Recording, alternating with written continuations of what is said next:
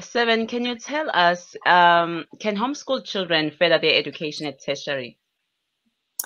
Yes, they can. Um, so of my homeschool children, the oldest five are finished with school and they've all gone on to do either college or varsity. Uh, my oldest son's doing a master's, my second son's doing law, and so on down the way. So yes, um, short answer, yes, homeschoolers can go on to do varsity, to varsity or college. And the longer answer is um, don't assume your children want to go to varsity. They might want to do something different. And so varsity is not the only way to become a responsible grown-up adult person. There are many ways, and varsity isn't necessarily the only way. Okay, that's a good answer. Good uh, answer for our first question. Hi guys, today I have seven. And we're going to jump straight into our icebreaker questions and then we continue with our conversation. Today we're talking about taking homeschool children uh, to further their studies at universities or technicals, anything beyond matric, really. So she will be sharing her story today. But first, before we continue, let's start with these icebreaker questions. So when I was compiling this, right, um, I had the one where it was you have to choose between swim or run. But I'm like, hmm, seeing your page, I know you're gonna choose swim. I'm like, no, I'm not it's an obvious one. And then there was another one between books and television, and I was like, hmm, I think she'll choose books. I'm like, I don't, I'm not gonna choose that. so I'll ask you three questions, right? And then you just choose one, okay? Okay. Um, yep. Coffee or tea? Yes.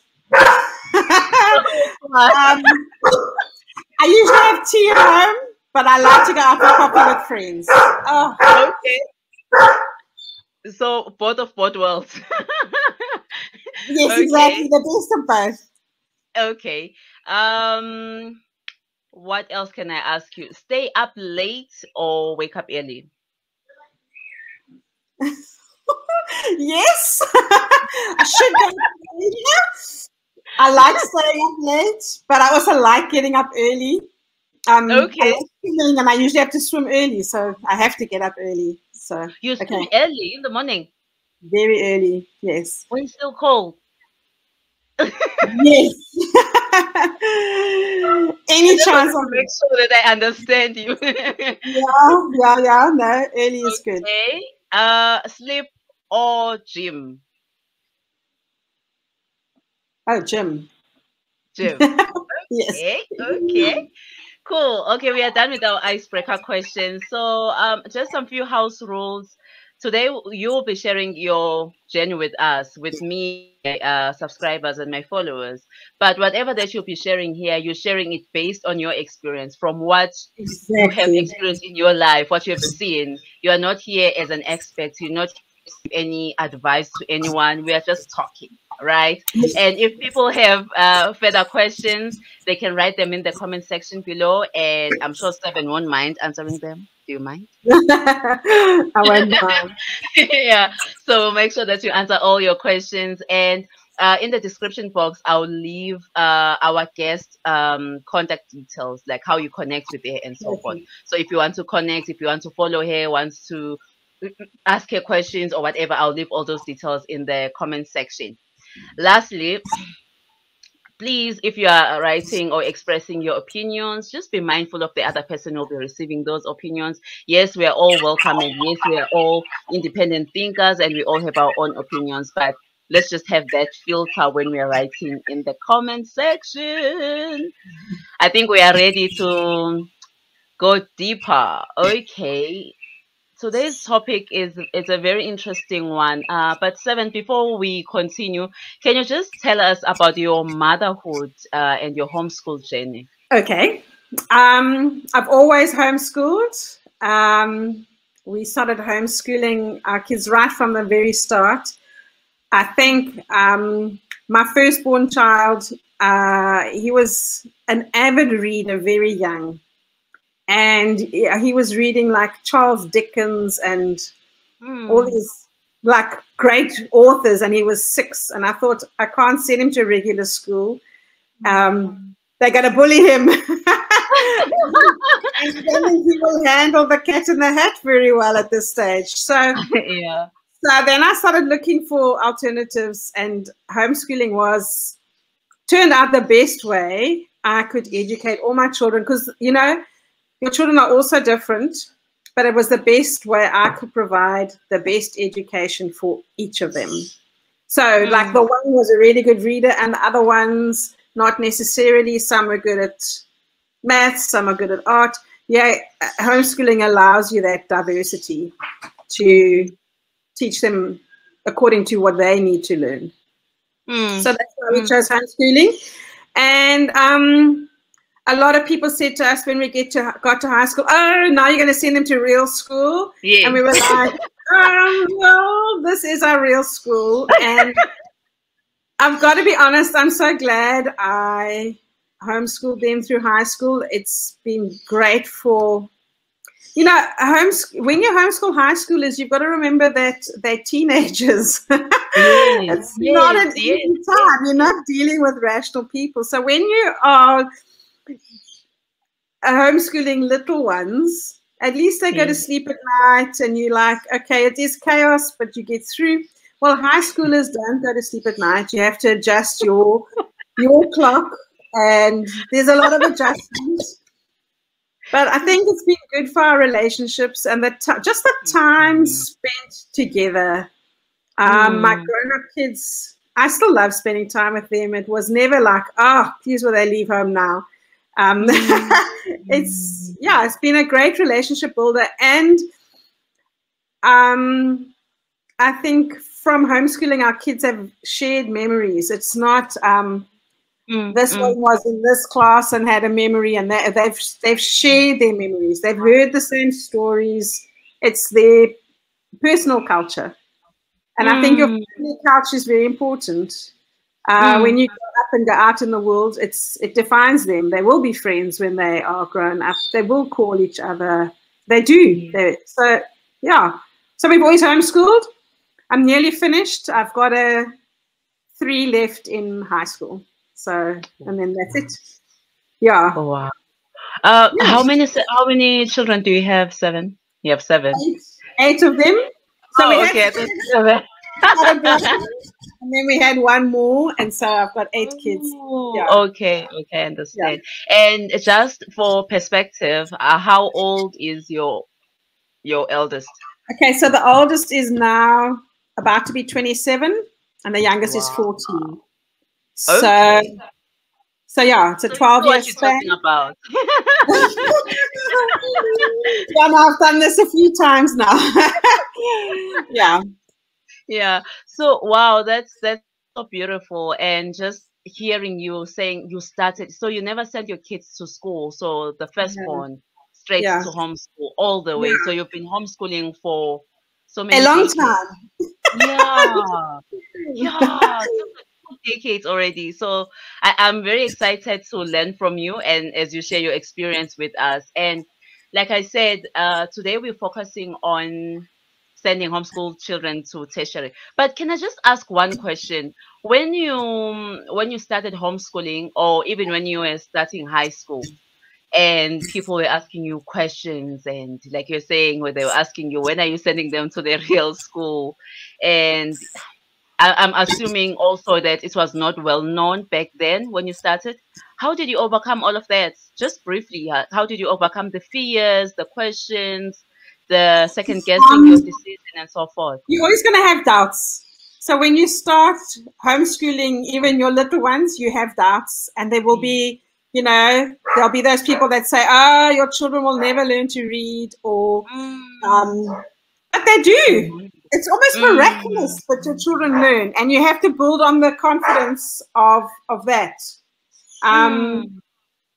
Yeah so i mean when it comes to high school there are a lot of reasons why people think they must go to school because they're going to learn more technical stuff or they're going to learn more stuff you can't teach them and so on but mm. um, if you think about it if your kids are passionate about something you know I could not teach my child to be an astrophysicist. Never. Okay? Yeah. Not going to happen. But if your child's passionate about that, by the time they're 10, they already know more than you'll ever teach them anyway, because that's their passion. So if your child is passionate about dinosaurs, yes, they're going to outstrip you in knowledge long before they get to high school. And you're going to have to come to terms with the fact that if this is what they want to learn about, they are going to find the information they need. They're going to learn. So, mm. high school, you're really guiding them. It's a journey, and your job is less of sitting at the table next to them. It's more like making resources available to them. Maybe showing them online courses they can do about mm. the stuff. Maybe just going alongside them. So it's almost a yeah, I like that. now you're more like guiding them. It's like you're mentoring them. You know, I like that. When you're answering the first question, when I asked you if homeschoolers can go to varsity, you said yes. There was a short answer, and then there was also a long answer. Now, can you just walk us through uh, how do homeschoolers prepare for tertiary level? Like when I say that, I mean like when should they start? What do they do? What preparations do they need to to make or to I don't know like how do we prepare for teaching? So you need to first find out what your child loves doing. Okay? okay. Because if your child loves photography and wants to go to film school, it's going to have different requirements to say the child that wants to do computer science okay. at a university. So you have to know what your child wants to do. And then mm. So you have a high school plan. Basically, your child's going to do a bit of maths, bit of English, bit of everything, and we continue with that all the way through school. But mm. then they start to almost channel towards their passions, and you go hmm. with them for that journey. So if your child really wants to go to university, well then look what are the university requirements for that child. So, or mm. if they want to go to college, what does the college require of them? Mm. So you hmm. still give them the education, but now in the last few steps, you also channel towards, towards what the requirements are. So, mm. for instance, if your child wants to go to university, most universities, if you phone the application office, will say, oh no, we do not accept um, homeschool students, which is rubbish. They do but it doesn't fit on the form. You actually have to speak yeah. to a person. So then yeah. there are ways around it. It's just, it's not as smooth as if your child got six A's from matric and sent their thing in, their form in, and got all the boxes ticked. It's a little bit harder, but it's not impossible. Mm. So most universities here require you to do some sort of matric. So you don't have to do a CAPS matric, and my okay. kids haven't. But okay. you can do GEDs or SATs, which are the American version. That's what I've done with my children. Some people change to Cambridge. Okay. Um, in high school, but that wasn't a that wouldn't work for us. That sort of one-on-one intensity wouldn't work with a family with so many kids all doing their own thing. So yeah, we just carried on with the school we were doing and mm. I made sure that we covered as much as we could. So, you know, basic language, vocabulary, yeah. maths, all the basics. And then when they got to like grade 11, let them write their GEDs and then matric, just write the SATs. We didn't specifically study for them. It's just in that year, I got them practice exam papers. You go online, you sign them up, they write the exams, they're done. Boom. And you can send those results to the matric board and get a matric certificate. And that's how they got into college. So we looked at the college they want to go to and we said, what are the requirements? And they said a matric whatever. So we looked at the matric board. Yes, you can do SATs and translate that to a matric. It's all good. So you can do it. But okay. you need to do a bit of work to get there. But surely, if you're going to varsity, you should do a bit of work. You should do your research. You should I mean, that's a natural homeschooler way of thinking. Yeah. To, how would I homeschool high school? You'd research it. Well, how's my kid going to go to university? You're going to research it. So just research it and their ways. And your child might not want to go to varsity. Your child might be really passionate about making films. Send them to film school. What are the requirements? Do they need an art portfolio? Well, then make sure they get that done. If they want to go to drama school, make yes. sure they've done literature or languages. Make sure they go online and do some online courses and get the skills. Job shadow. So many kids say, Oh, I want to be an engineer, but they don't actually know what an engineer does. It just sounds good. So then, yeah. what sort of engineer do you want to be? So find an engineer and go out for coffee. You know, my my one boy uh, wanted to do law, and so he went for coffee with a lawyer, and the guy said to him, "Come, you can come to court with me, and you can watch what happens." He loved it. That went mm-hmm. straight. Okay, this is really what I want to do. Exactly so, what I want. Yeah. Exactly. So you've got to find ways. You know, your child, if they want to be like a, I'm just giving you examples, but if your child, for instance, wants to do be a sports scientist, well, send yeah. them mm. to sports science to job shadow. You can do mm. that and let yeah. them find out, oh, this is what it's about. This I love, or actually, I hate it.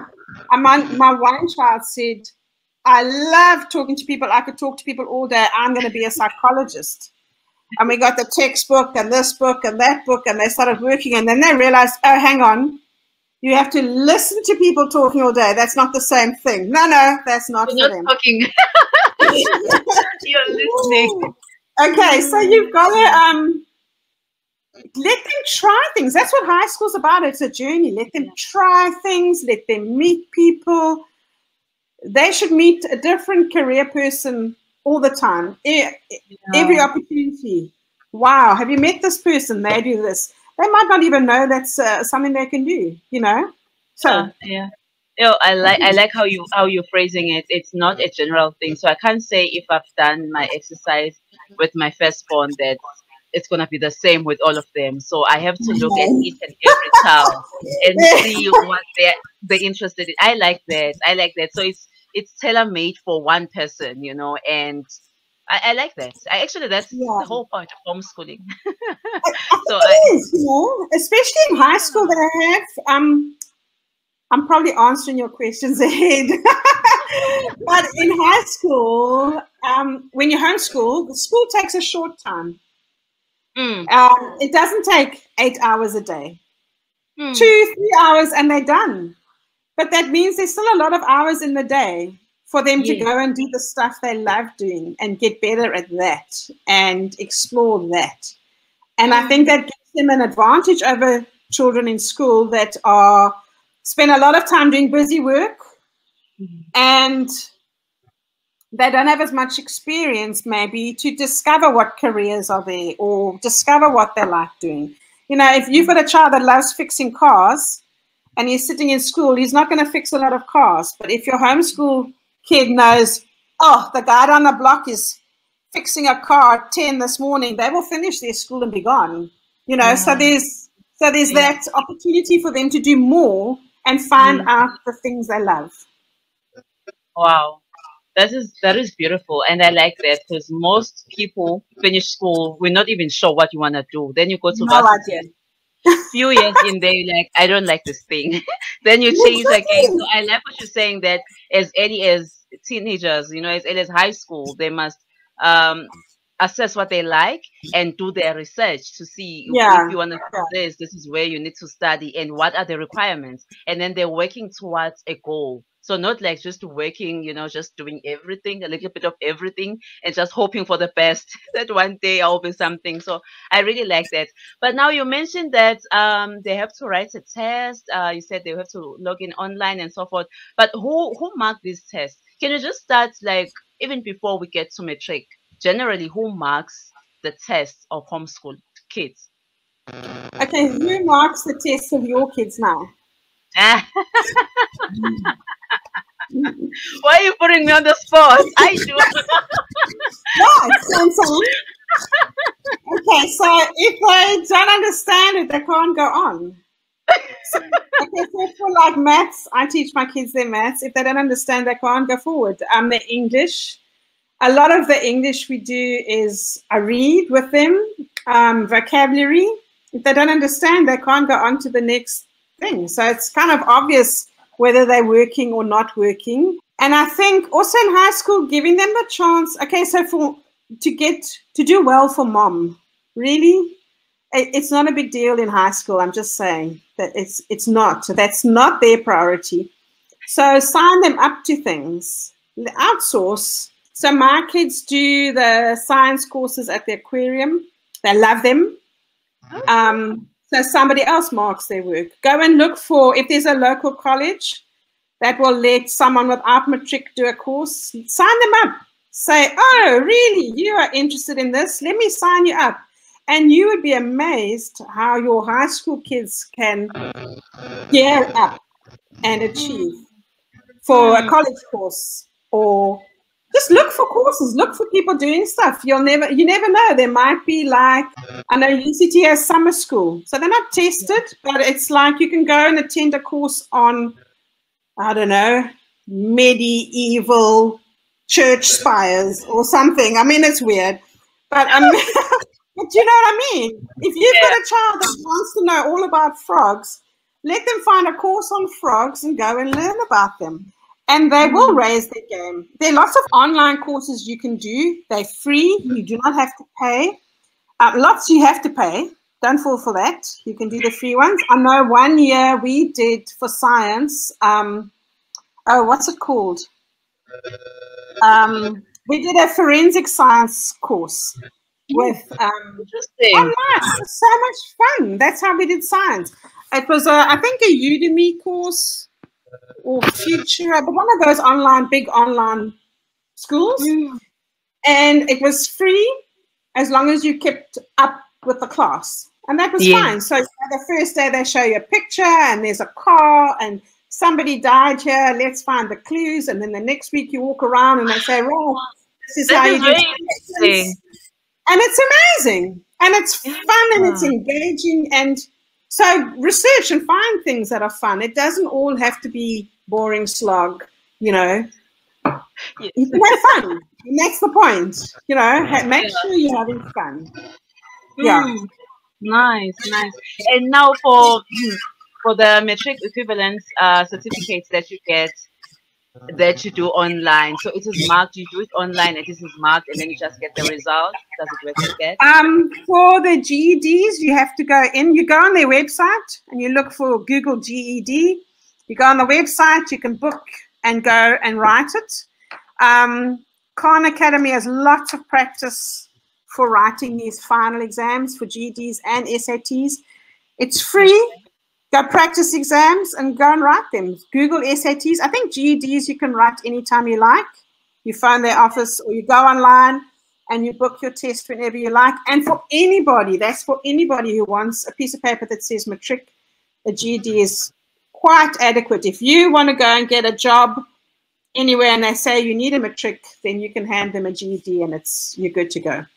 Um, wow. SATs are more for college entrance. Okay. And I think in South Africa, you can write them twice a year. You just go on the SAT website and they say, um, in South Africa on this day, book your okay. exam. So it's really easy. You don't have to do a complicated thing. Um, obviously, if you're going to change to something like Cambridge, then you have to get their books and do their exams when they say and all that. But that, I mean, that's a route you choose. Obviously, you're going to research it, and if that's what works for your family, then fine you know. Oh, wow. So there are different ways to do this. Yeah. Nice. And I'm just wondering now, as you're talking, um, once you get that certificate, when you come to the board, the South African board, do you now have to pay that fee, that huge fee that I hear people talk about to get the matric certificate? We have not paid a huge fee. no. You've never heard of that? No. Okay. No, that's good. No. no, no, that's good because I've had people say you owe them. it's still coming. The bill is coming. no, it's not. No, it's good. No, I've never heard of this. Okay. okay, that's that's good. That's good then. It's good to know that you can um convert those certificates into matric if you want to use it locally. You can, you can. And then, um, so most varsities, if you've got that, they can still refuse you if they want mm. to. But then if you've got a year of college, which is tertiary, then they can't. So on the grounds of academics, they can say, oh, well, you know, we would rather you had better than SATs or whatever. But then if you've got a year of college, then you're sorted because then you've done tertiary education already and then that's it. Okay, so sometimes the university might say, okay, your results aren't good enough or whatever with just your GEDs or your SATs. And mm. then if you've got a year of college, then that's tertiary. Okay. And then that's good. So you can find a community college and send your child for a year. So what I'm saying is a year of college, even one year at a college, counts as tertiary education. Obviously, it is tertiary education. And so from there, you can easily get into university. Mm. So if your SATs marks aren't good enough to get into varsity, you can spend a year at college building your matric, so to speak, and and there you go. You've proved you can do tertiary education now, and you're good for varsity. Wow. Ah, this was a detailed response, and I think you have covered the requirements really um, of what is required in order for the child to go to varsity in a sense that you've said that you have to whatever that they need they want to study and then they must work towards that goal. Um can i just ask a general question under that? If maybe someone wants let's say wants to be an engineer right? And yeah. the university requirements are normally english uh, science and math most of the time. And I don't know if they've added some of the things, but those are the main requirements. So uh, how, how do you then uh, uh, go about doing that? Or when you are doing that certificate, how do you choose your subjects then? Because I'm well, sure they don't have like things like life skills and, and so forth. So how do you how how is it quantified? At university you will have things they call credits that maybe this module is a 16 credit this one's 8 credits this one's 32 credits so for subjects uh, how, how how is that quantified if i don't have life orientation or life skills or whatever they call it these days? So um you will obviously teach them science. Because they're going to do engineering. They will do some sort of science. They will do obviously maths, and you will prepare them as best you can.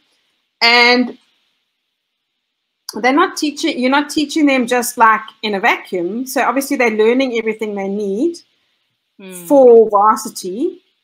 And then when they write the SATs, the results will prove that they can do maths. They will get a high mark, although or they won't, but, but they should get yeah. the marks required. Do you know what I mean? Yeah. So are they guided when they're choosing their And then you also write for them. So this is an important thing we haven't spoken about, but you write for them as they go through high school a um, it's called a transcript, and it's okay. like a it's like a CV of their okay. high school, and it's actually quite fun to put together. And you work on it with them as they go up. So for instance, um, obviously I'm going to put English, not Afrikaans. My kids have not done Afrikaans, but they have Is done it? French. So I'll put French, okay. um, maths, and so on. And I can give them a grade on how they're doing. Mm. Um, so, you know, at the end of the chapter of the book they're working in, I can say, do the test. If they get 60%, I can put to C. If they get 100%, I can put to A plus, plus, plus. But on that transcript, you also put everything else they've done. So if they've done an online course, if they've attended a college course, what sport they do. Um, some, like my kids do sport at the local high school. Um, what volunteering? Find them volunteering. Let them do it. Let them go and volunteer places. Put that down. It's very good and it shows leadership. And varsities mm. aren't only looking for marks, they're looking for all rounders because that's yeah. going to represent their university well. So the mm. more rounded your child is, the more uh, outside of the academic skills they have. You know, the better. So, um, you know, like my one child loves talking. So, yeah. you know, put him on a debate team. Put what debates he went to. Um, mm-hmm. uh, another one loves uh, hockey, plays first team. Put that down. Another one has loved working at the aquarium. Put that down. It all counts as a mm. picture of who they are. Because if you look at just their marks, so the SAT, they get a score. It's like 1,300 points, the end. Tells you nothing about that person, the not person. one thing. So you create, you, you create a CV for them of what they in high school. And you wow. submit it. You send that in with the result because it's mm. showing them that your child's committed to a particular thing, that your child is a leader, that your child is passionate about certain things that they're studying towards. Do you know what I mean? Yeah. It just makes yeah, sense. Yeah. And you yeah. build that up. You don't try and do it when they're in trying to apply. It's too late because it's something you should have worked on all along, you know? Yeah. Um, yeah. And if they got a, a job at the local store, well, put that down because it shows that that kid is invested in things, you know, yeah. its future, yeah. its work, its commitment, and that's all good. So, mm. yeah. Okay. There? Does that help? Interesting. It does. it does. You're giving, you're shedding a lot of so light. Even so. if your child doesn't go to university, if they're applying for a job, that helps. Yes. If your child decides they want to go and, you know, uh, teach at teach English on the far side of the world, like many children do, by having that uh, transcript, that CV, all prepared as they finish school. It's demonstrating all their skills already. It's there, it's ready. They can just take that with them and apply for the job. It's not just for university, it's for the all roundness of your child. Yes, yes, yes. Yeah. Wow, I, I like that. I like it. And I think that can help a child as well. I'm just thinking um, teenagers, maybe there'll be a point in their life where they feel confused about life um, confused about who they are, what they like, you know, and having something tangible that says you did this this year.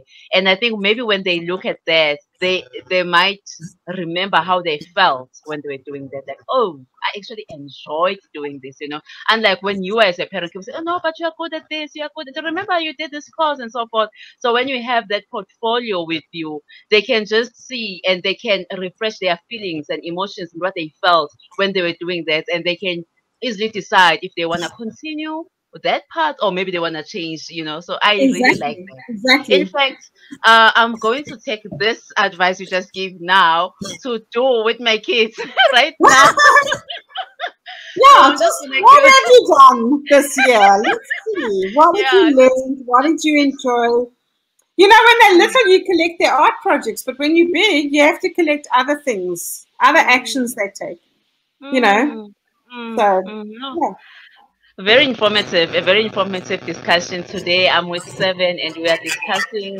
um, all things relating to kids going to universities, uh, colleges, or whatever life after matric.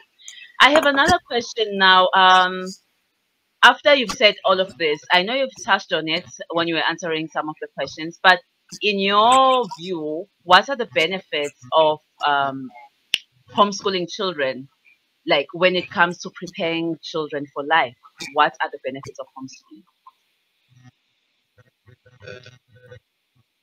everything I think they have every advantage because they've had time to think about where they want to go and what they want to do. Even mm. if they mm. still don't know, they've had all that time to think. Um, they've had time they have more free free time. Mm. So all my children have got jobs and worked during high school. That gives them a huge advantage over their friends who haven't mm. worked because mm. they already know um, the value of money and the value of hard-earned money. Um, yes, yes. So um, that's a huge life lesson right there that they learned because they were homeschooled.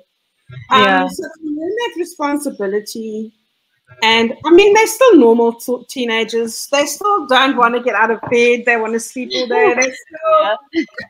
I mean, their priorities are not your priorities. Don't make that mistake. When your child is a teenager, don't for one second think that they are thinking about what their matric results are going to be. They are thinking about food and friends. and what, is what is their age? That would be age appropriate for them to be thinking that. Yes. Um, it's our it's at our um, responsibility to to guide them through the food and friends. yes, they are growing. Yes, they do need friends to help them break away from their parents, um, to help them develop into human beings. We can't dictate to them. They need their friends' opinions, they need their friends' vibes. And it's a good thing. They must spend time with friends. And that's another huge advantage of homeschooling is they have that time to spend with friends and hang out and just do nothing. Yeah and stare into space, your teenagers are going to want to do that. And, you know, you can't wait until your child is 18 and then say, okay, go see the world. You've got to let them incrementally do it. It's like saying to your 18 year old who's never crossed a road, go get your driver's license. You've got to let them do little bit, little bit, little bit on the way. And they're going to make mistakes. Believe mm. me, they're going to mess up. and that's fine. I would rather my teenager messed up and we can fix it than, you know, my middle-aged child comes to me and says, "Oh, you know, I've done this and that and the other." Let them make their mistakes now, mm. and they'll see that you know what is a huge drama when you are 16 is really not the biggest drama for your whole life. You aren't destroying your whole life. You know, if you miss a sports practice and you can't play a match on Saturday or something, it's a life lesson, but not the end of the world. Yeah. So make those mistakes in high school. It's a good time to make mistakes. You're fine. You're going to be fine. Make yeah. mistakes. Your parents are here. We will catch you. Yeah, don't expect perfection. Hey, they they kids with a teenage brain, which is mm. not a good thing. yeah. yeah.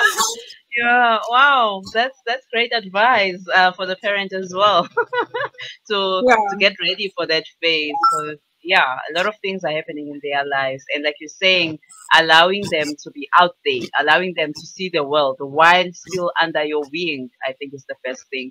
Yeah, they can come home.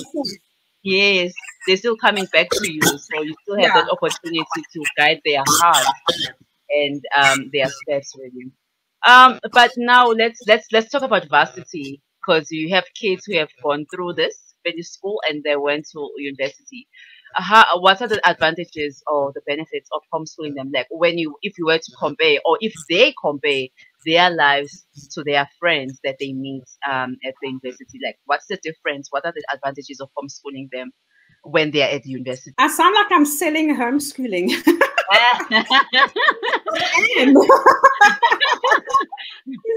um, the big advantage is your homeschool children have learned how to work on their own.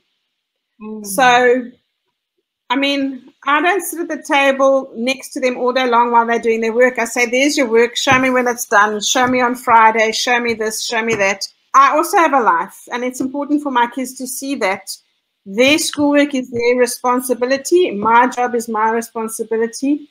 Mm. And, you know, when they're little, you need to sit beside them. But as they get bigger, they don't need that anymore. I think that's invaluable when you get to varsity. There's no lecturer at varsity ever who checks your homework. Either you pass or you fail. And that's a big advantage to have learned that lesson in high school. Either your work is done and you move forward, or it's not, you stay exactly where you are. Mm. So that for me is an advantage. Yeah. It's, it's learning the responsibility. Mm. So they're responsible for their own work. So they're not doing it just to, for mommy to see that I've done it, exactly. but they need to be responsible for the work that they've understood what they're doing and they did what you're supposed to do. Mm. Ah, nice, interesting. okay, you know, for someone, if maybe um someone watched this video and heard us the first time when I was asking you, can homeschool kids go to university? Most mm-hmm. people will say, well, that will happen when pigs fly, you know, because like, no, it's not possible. But now you just you just explained it to us that it is very possible. It's it is very possible yeah. And I think, um, the thing people think is, why would you keep your child at home all those years and then send them into the big bad world of university? How are they going to cope? But you know, you don't homeschool in a bubble. My kids are not locked in the cupboard. They're yeah. out there. They've got friends. They've got this group for that thing, this hiking group, this soccer group, this. They're not sitting at home in a bubble. And when they get to when they get to varsity, they find their community in their group of friends, in their class, in their thing. Yeah. It's not, they're not just flung to the wolves, you know. Mm. Um, you let them get out. You don't make them sit at the kitchen table for 12 years and then say, bye then, you know. yes. uh, this the whole socialization question of homeschooling is just the biggest fallacy. Your children are not isolated. Mm. Unless you isolate them, and then that's a bit weird. So don't do that. Let them out. Let them free. no, yeah, yeah. No, wow, no, that's yeah, I like that. And I know you said you, you sound like you're you're selling homeschooling. Um, I'm gonna put you on your spot now. What are the disadvantages? Like when you look now at your children um as adults, young adults, and and when you think of them when they were still little, what are the disadvantages of homeschooling them? You wish I didn't do that. What is that one thing for you? I don't have one. I, I have no regrets. okay, so we're on the right, we're on the right path then. oh, no, ah, no regrets.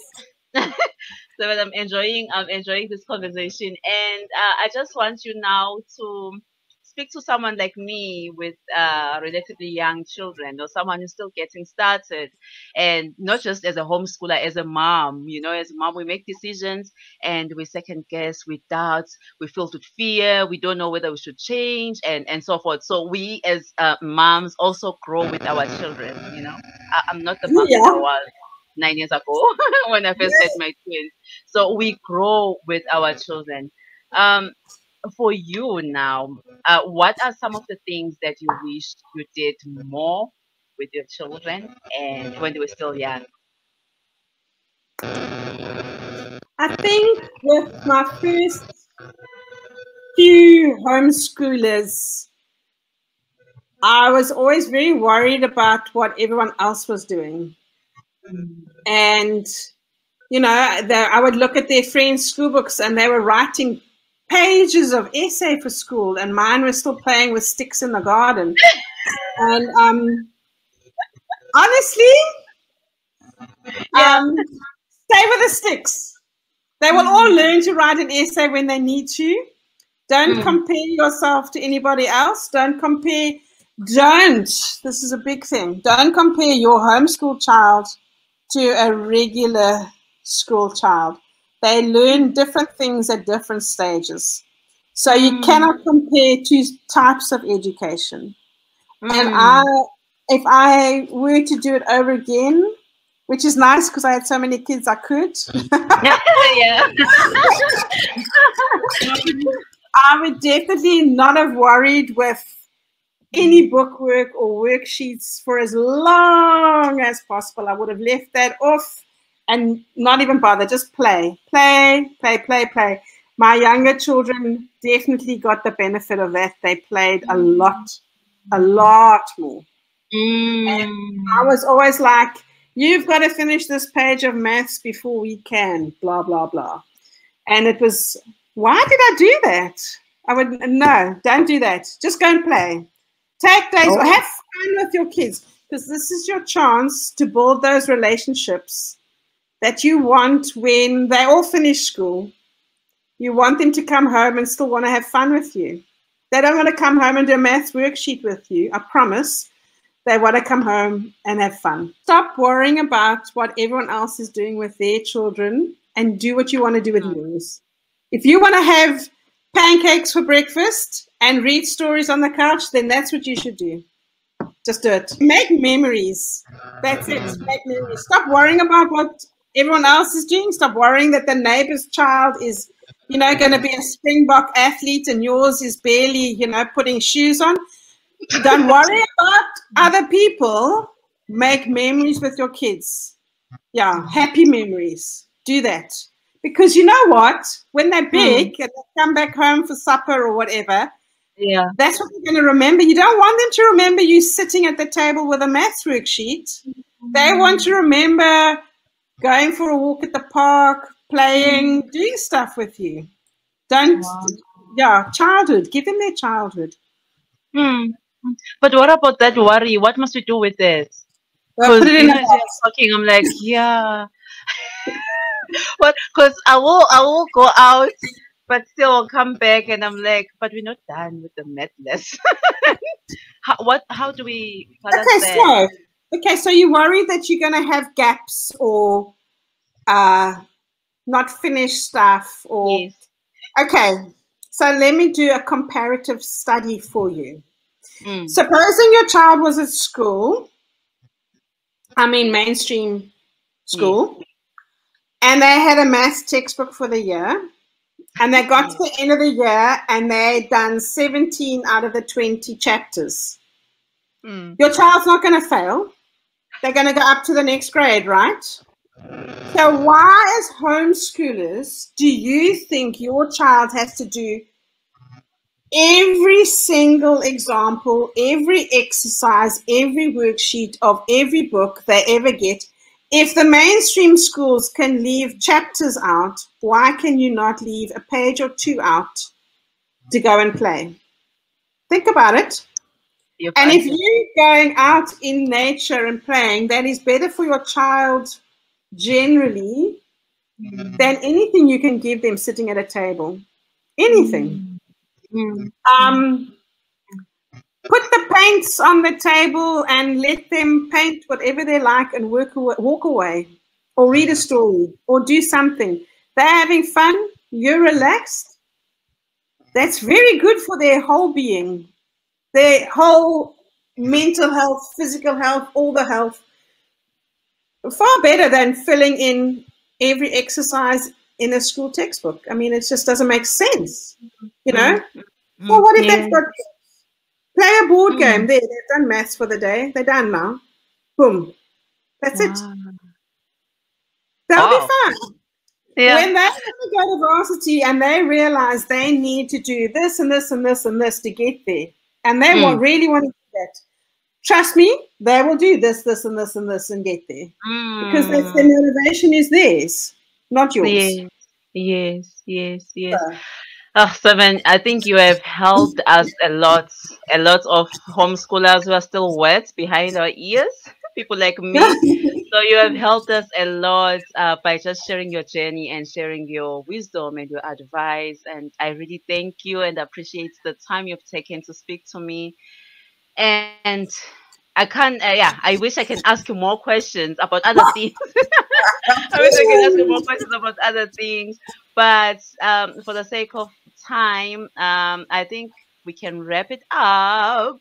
How do people connect with you online or, or even physically if you want people to come meet you? Um, my, so you can find me at on Instagram, seven mm. underscore hoods.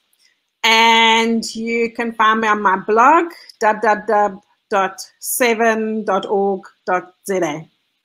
Right. Okay. Okay. Cool. I will leave those links in the description box. So if people want to connect with you, they can go on your website and read. There's a lot to read in there, and there's a lot to learn also on your website and also on your Instagram page. So if people want to follow you, um, I'll leave those below.